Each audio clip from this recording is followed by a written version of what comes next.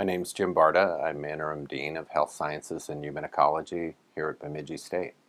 The title of my presentation is Exploring Cultural Connections with Mathematics.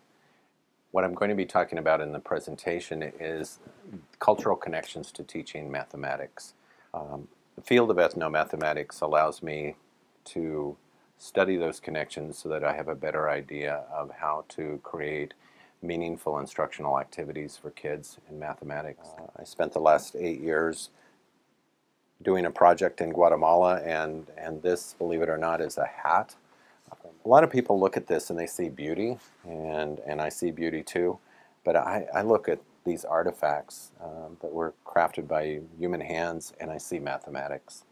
And, and you, as well as I, have heard way too many times, when am I really ever going to use this?